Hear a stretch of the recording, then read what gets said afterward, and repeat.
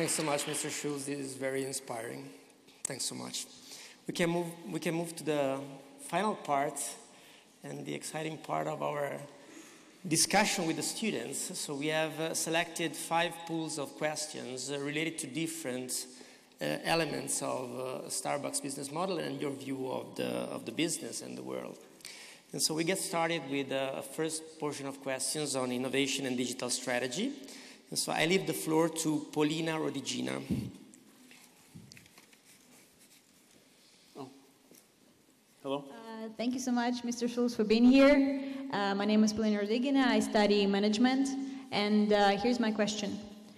Uh, what role does big data analysis play in the Starbucks strategy? And more specifically, uh, which data do you collect? Uh, which insights do you derive from it? And how do you see the future of big data in your company? Uh, can you uh, ask the first part a little slower? Sorry. Okay. Uh, what role does big data analysis play in Starbucks digital strategy? Data analysis? Big data. Oh, biz data. Okay. Uh, okay. Uh, I am not a big research guy. uh, however, uh, over the last few years, um, I have gotten religion.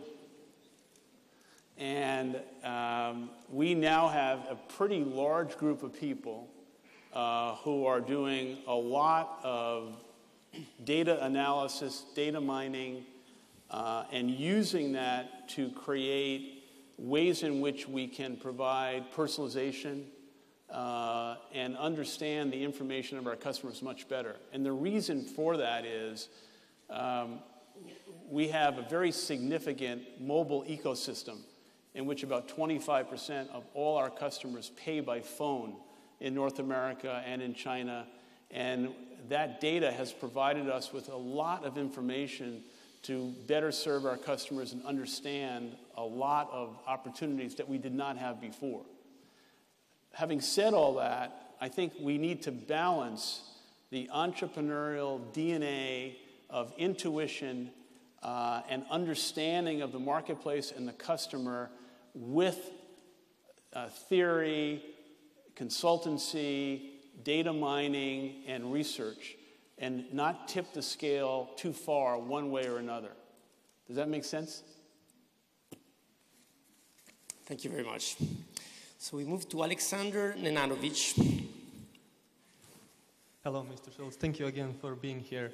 I'm Alexander Nenadovic from Serbia, studying marketing management here in Bocconi. And uh, my question is, uh, in this age when everybody is trying, often successfully, to create disruptive innovation uh, that would change the industry and allow them to win against the powerful incumbents in the market, is Starbucks worried that this might happen to them too? And uh, what is Starbucks doing to remain the leader in innovations and prevent this from happening? Mm. I, I, would say this that um, whatever industry uh, your company is in today, uh, it's never been more important to understand that your success, if linked to the status quo, will be a death trap. So, uh, success can be a uh, humbling factor if, in fact, you are not pushing for reinvention and self renewal.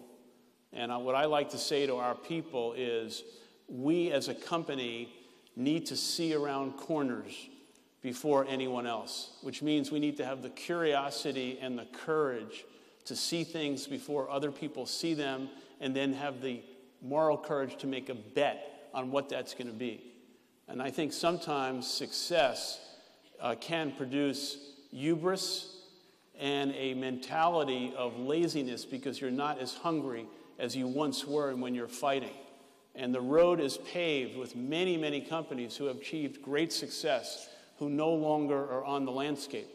Uh, you're too young to remember when Sony ruled the world with a Walkman. Uh, but I do remember that. And, uh, you know, Sony is a great company, but they should have been Apple.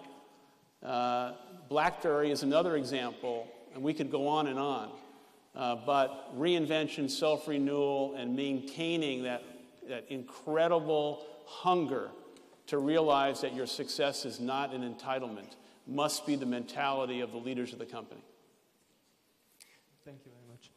Follow, following on on these questions, can you elaborate a little bit more on what Starbucks is doing in these days uh, in order to spur this entrepreneurship spirit within the employees?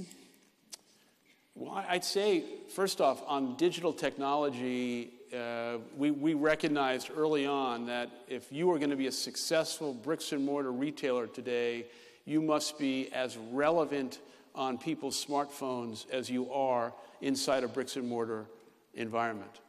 Uh, secondarily, um, the, the customer experience, we must create Starbucks as a destination, which means that the theater, the romance, and the store we're going to build in Milan in the old post office will demonstrate such drama, theater, romance, and I think we have an opportunity to reinvent retail with that store opening.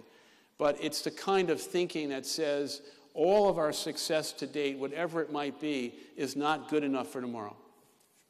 You have specific units within the organization that um, work on business development or these uh, scenarios related to what the company should do in the future. I, I don't think we have a specific, I mean, we have a digital group and we have, but if you're not an entrepreneur at Starbucks and challenge the status quo, it's on all of us, not one person or one group.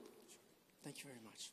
So we move to the second set of questions on customer and brand experience, and uh, the floor is to Alicia Wixen. Um, my name is Alicia Wong. I'm American and I'm a student with the World Bachelor in Business. So, exactly what we were talking about before, um, I wanted to ask how Starbucks offline customer experience will kind of integrate with new technologies. For example, RFID tracking, um, collection and use of customer data, and also the Internet of Things. Um, sometimes you can create a ancillary benefit for the customer that not only is a benefit to the customer, but if you're lucky enough, it can produce a new source of revenue and profit. So if we look at the mobile ecosystem that we built at Starbucks over the last few years, uh, I don't think any of us ever believed that uh, $2 billion would be preloaded uh, during the holiday quarter, last quarter, on people's phones, either for themselves or as a gift.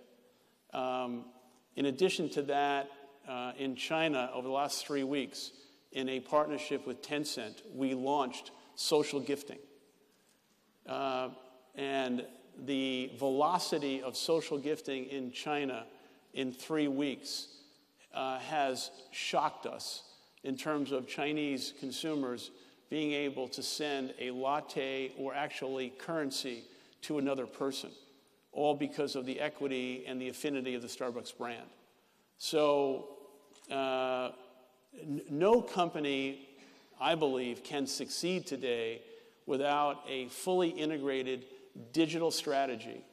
And that digital strategy is complicated because the level of technology and consumer adoption is moving faster than any company's ability to parallel it unless you are a true tech company. But the learning is that every company, regardless of the business you're in, must be a tech company. So, how does that affect the offline experience? Well, I think what, how it affects it is that um, offline, the relevancy of the equity of the Starbucks brand and the emotional connection with, we have with our customers has to be equal to or even greater than what happens inside a store. So, as an example, uh, we just created for the first time a proprietary digital content series of 10 episodes on people's phones. And uh, in two months' time, 70 million Americans viewed that content.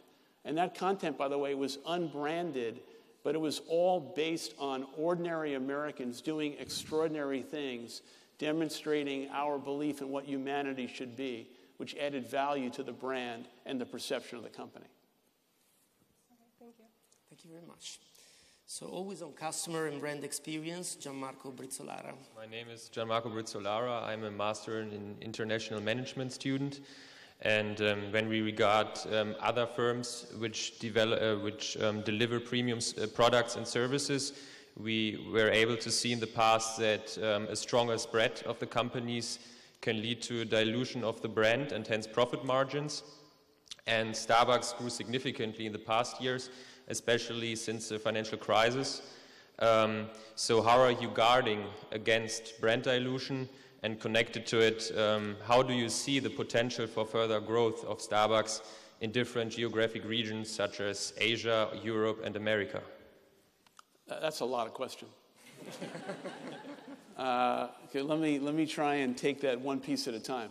First off, when you are referring to brand dilution or margin compression as a result of digitizing your business, what I think you're referring to is traditional bricks and mortar retailers, in order to compete with Amazon and others, have they needed to create a opportunity for online commerce, e-commerce business. But in doing that, they diluted their core business and diluted their margin. So, as an example, Walmart, Macy's, all of these big box retailers no longer have the physical traffic to support their infrastructure, so they're creating an offline business. But those, that offline business, in order to invest in creating it, the infrastructure, and the margins, they are suffering even though they're creating more growth. That's your that's answer one, I believe. Was also um, yeah. I more wanted to ask about like the store locations you have. Like you opened, I think it went from around 19,000 in 2008 yeah. to 25,000 today. Yeah. So um, if there is a Starbucks at every corner, basically, this can maybe lead to a dilution of the brand.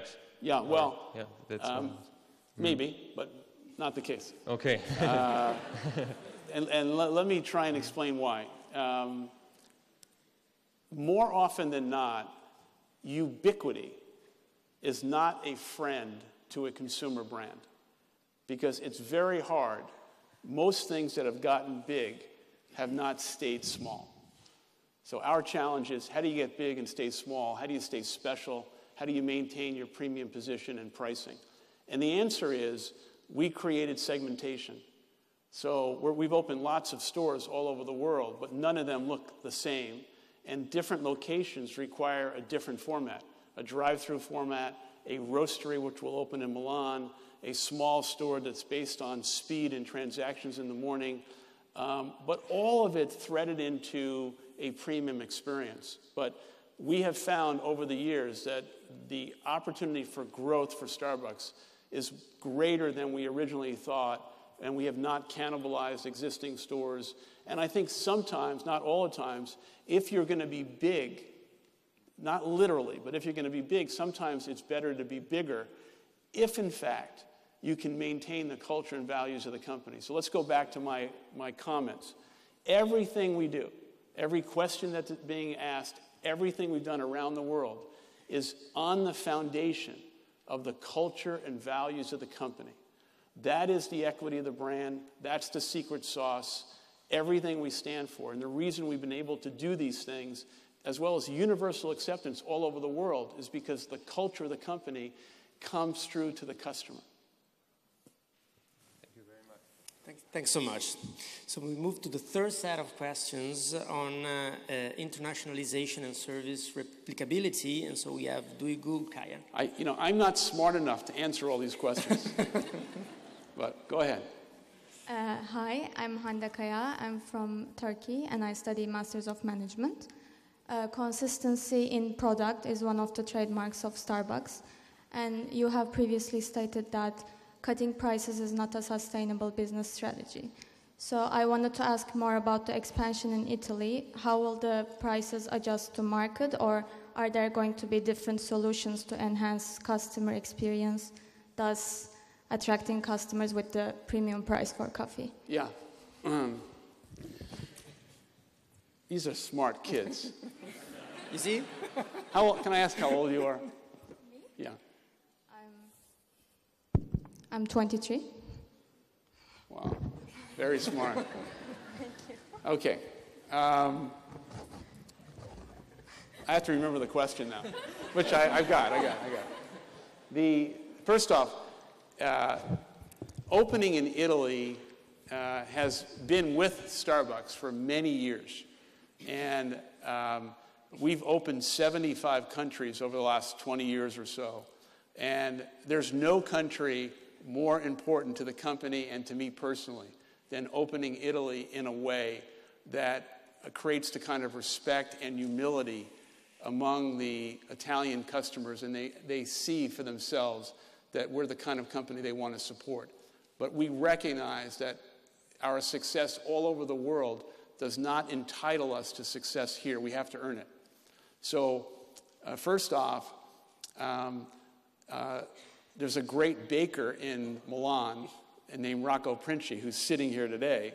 Uh, I travel all over the world, and I've never tasted anything like what his bread tastes like and all of the culinary things he does. So, the first thing I did unsuccessfully for many years is try and convince him to be our partner, but he always said no. And then finally, finally, I got on my knees and, and, and, and he said yes. So we will have Princi food not only in Italy, but also in America and in China. And I think the quality of that food automatically will represent uh, what Starbucks is trying to achieve. We're building not a store, but a shrine to coffee. And the experience, the theater, the roasting, the education, uh, and we're going to wait. We're not opening any store until the post office opens. The pricing, I think we haven't decided, but uh, it won't be a barrier. We won't allow pricing to be a barrier. We want it to be fair and equitable. Uh, but we're going to be bringing an experience that I think most Italians have not seen before. And I, I couldn't be more excited because the design is extraordinary. And I think p- young people are going to want to be there and uh, should be. I, I can't wait. Uh, and I think we've, we've worked very hard to kind of get it right, and we had a lot of help from a lot of friends of ours in Italy who have helped us, and I think it's going to be good. Thank, Thank you you. very much. Thank you. If I may ask, Yeah. will this be a new concept or just a store for Milan? Uh, it is a pretty new concept.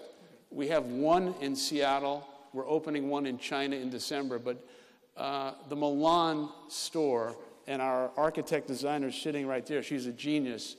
Uh, this is this store is is we're, we're breaking the bank. Thanks so much.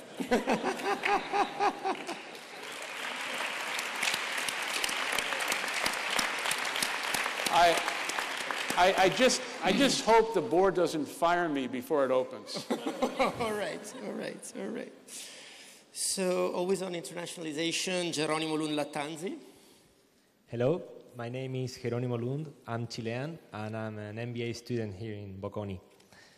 If you had the chance to start Starbucks all over again today from scratch, what would you do different considering how the world has changed since the first Starbucks stores were opened?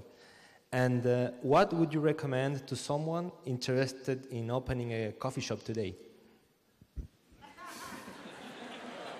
In Chile, by the way. Uh, please don't open it near a Starbucks. please, we, we have enough competition. Um, I mean, I think your question is a serious question because the way the world works today, um, we decided uh, as a company we were not going to franchise Starbucks, that all the stores would be company owned. And um, I don't think today we would have had the time uh, over the many years we've had to be a company owned system because so much competition, access to capital, and social media, I, I think it would have been a lot more challenging for us to maintain what we, what we were going to be able to do. Um, you know, I, I, I can't think of much we would have changed because we've been fairly blessed. I think we would have gone internationally a little earlier than we went. We didn't open our first store outside of North America until 96 in Japan. And I think we were afraid and we, sh- we should have gone a little sooner. Um, uh, other than that, uh, I, again, I go back to if, if the culture and values is a reservoir, do everything you can to keep making a deposit in that reservoir every day. Thank you. Thanks so we move to the fourth set of questions on corporate social responsibility, which you already touched upon in your speech. Julian Stauffer. Hi, I'm Julian Stauffer. I'm from New York, and I'm here at Sta Bocconi doing my MBA. Where in New York are you from? Uh, I grew up in Westchester, What town? Bedford. Okay. Yeah. I, I know who you are. Yeah, yeah, thank you. And thank you for your speech. It, it means a lot, and I think everyone here really appreciated it. Thank you. Um, regarding Starbucks' decision to hire 10,000 refugees over the next five years, can you please speak about what goes into that kind of decision? Mm-hmm. And what are the various considerations? How are the final decisions determined? And what are the internal or external barriers that you face?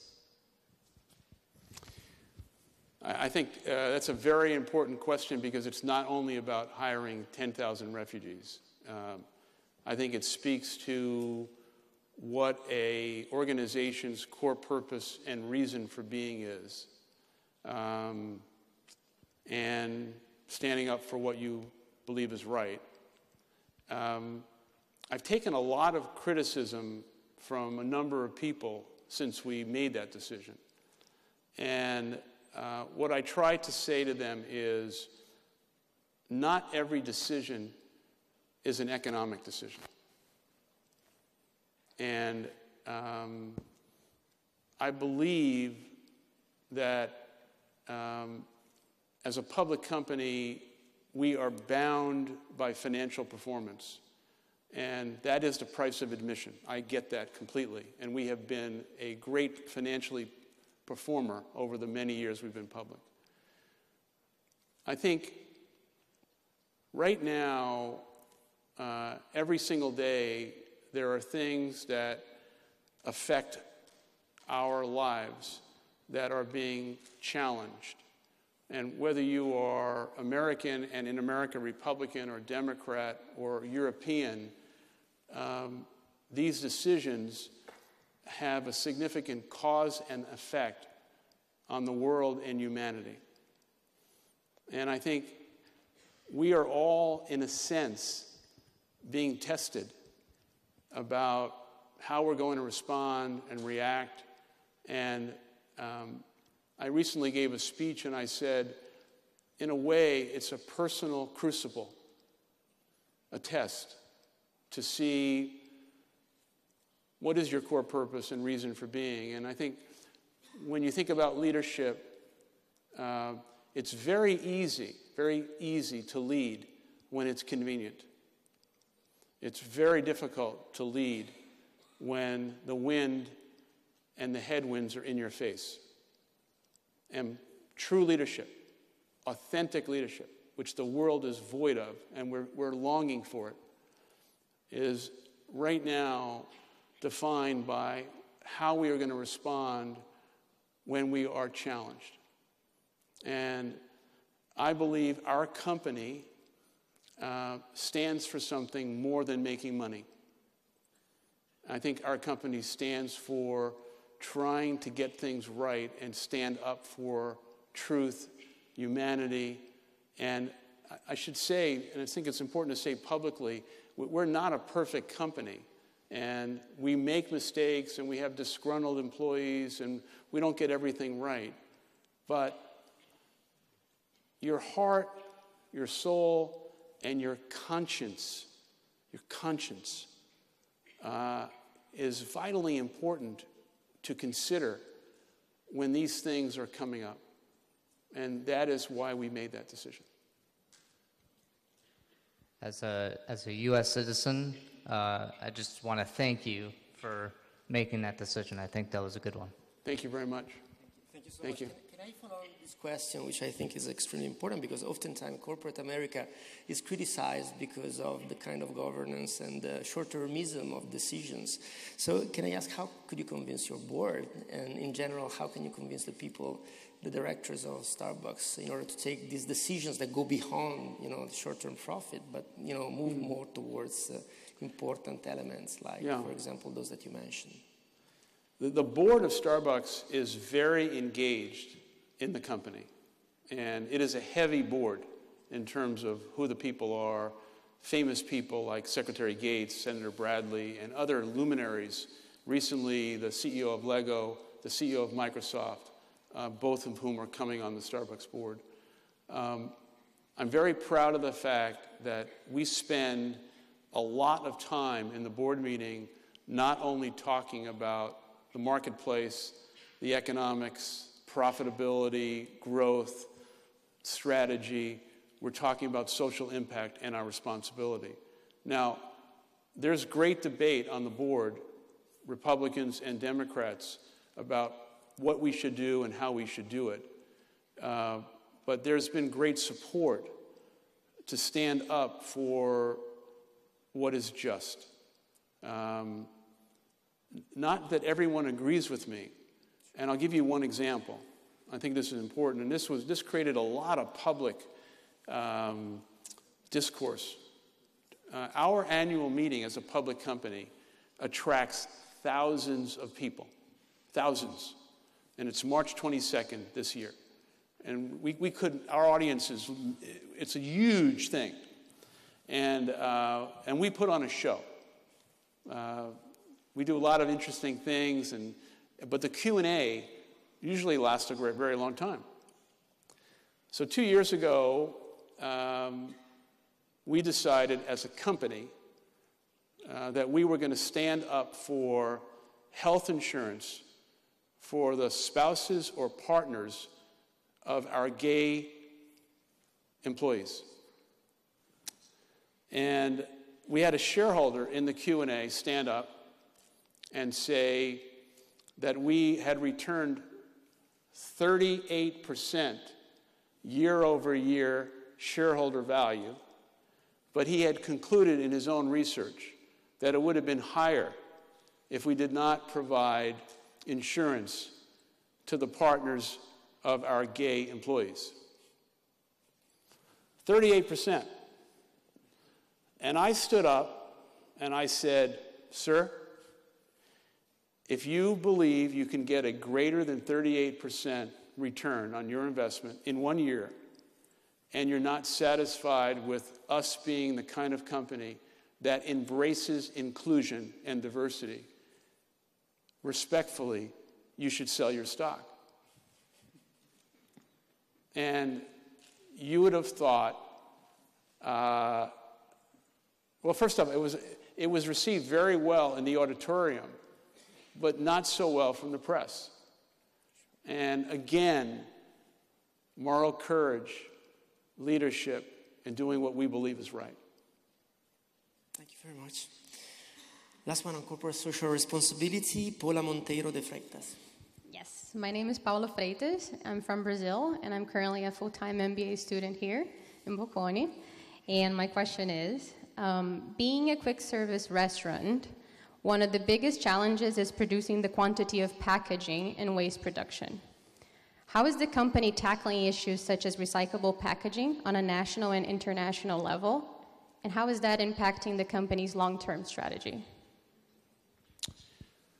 So, your question, I think, is a question that we are asking ourselves a great deal inside Starbucks today about our carbon footprint, our responsibility in lots of areas of the company. Uh, the, the area that I'm probably most proud of uh, is the area of replanting coffee trees all over the world because of the issue of sustainable coffee practicing. So we've planted over 20 million trees, and we have opened agronomy offices in many places around the world where we buy coffee to teach sustainable practices.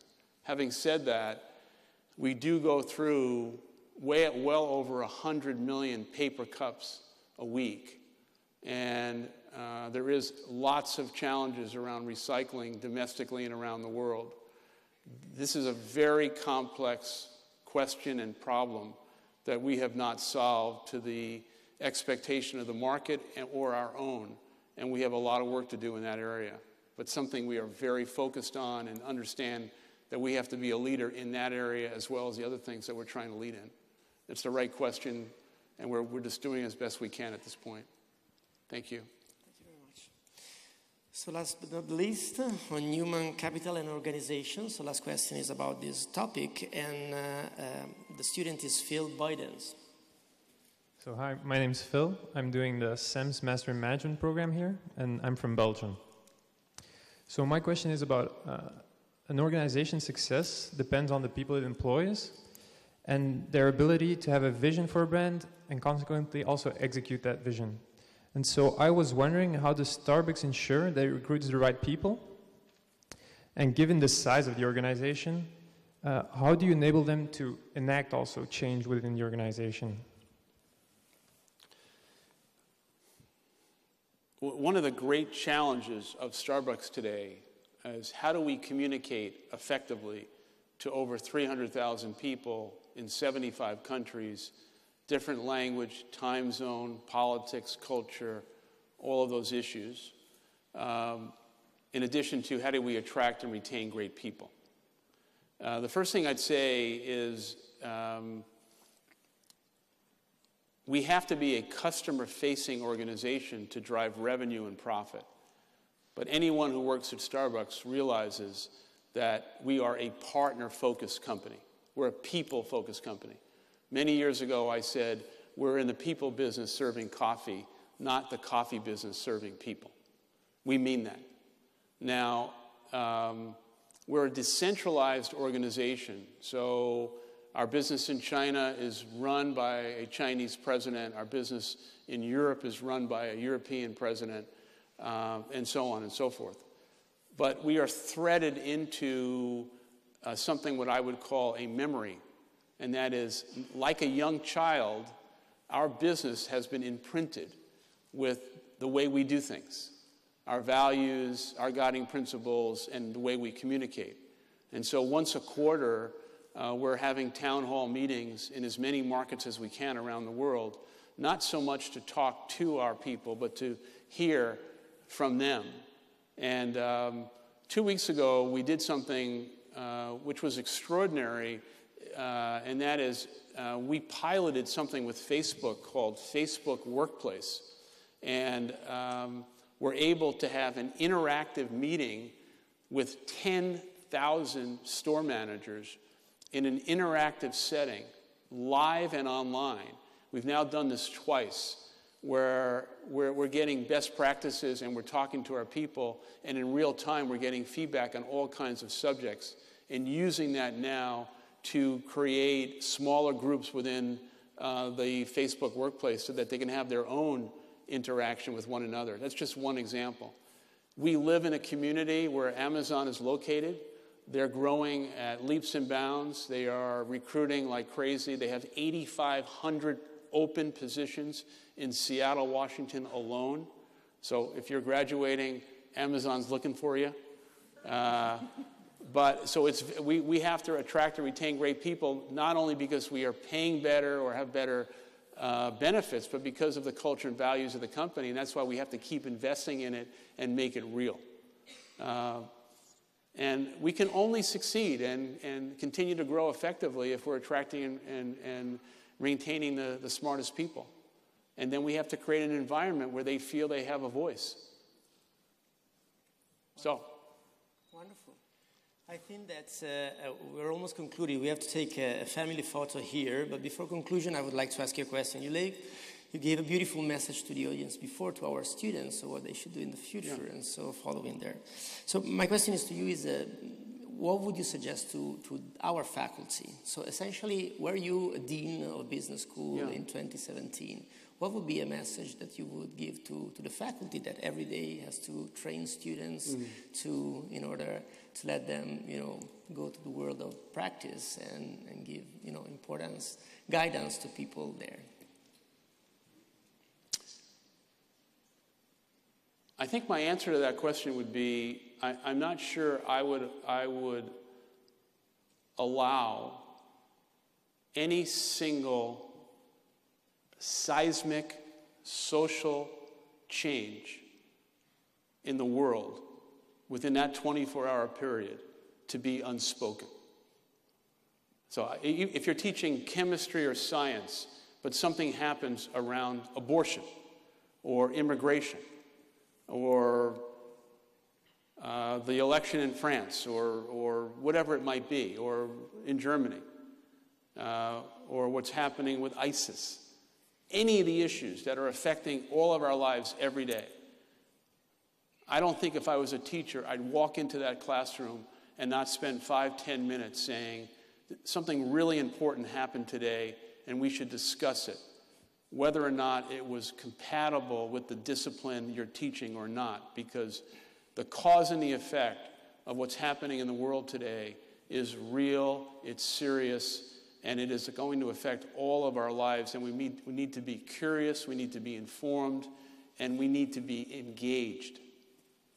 I think this is extremely useful, and I hope that our faculty members will follow this suggestion because yeah. I think it's a great, it's a great idea. So thank you very much one more thank time you. for this inspiring talk. Thanks so much. Thank you very much. Thank you. Thank you.